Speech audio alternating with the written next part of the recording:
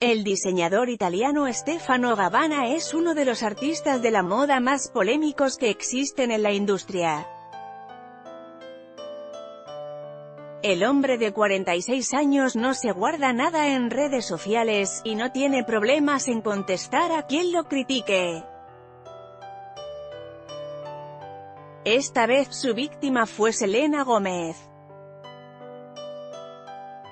Sin siquiera decir una palabra, la cantante se encuentra en el medio de la polémica por los dichos de Gabbana, quien gratuitamente la llamó «fea», despertando la ira de los fans de la intérprete. Todo comenzó cuando el portal de moda italiano The Catwalk publicó en su cuenta de Instagram, una colección de fotos de la también actriz usando diferentes vestidos rojos.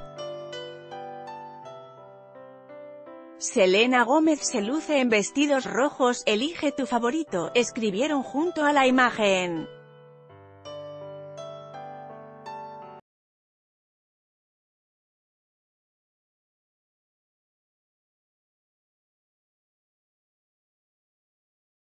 Sin embargo, a los pocos minutos apareció un comentario desde cuenta oficial de Stefano Gabbana donde decía en italiano, «è proprio bruta», lo que se traduce como, «ella es tan fea».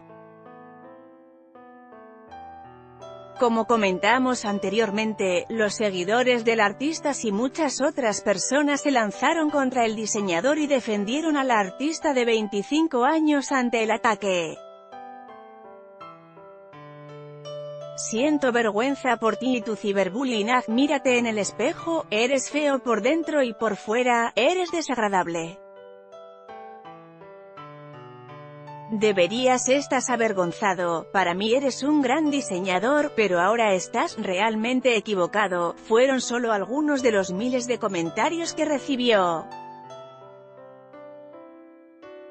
Una publicación compartida por Radio and Music, arroba Radio and Music barra baja India, el 14 de junio de 2018 a las 5 y 35 pdt pero Gabbana no es el único que ha generado una polémica así.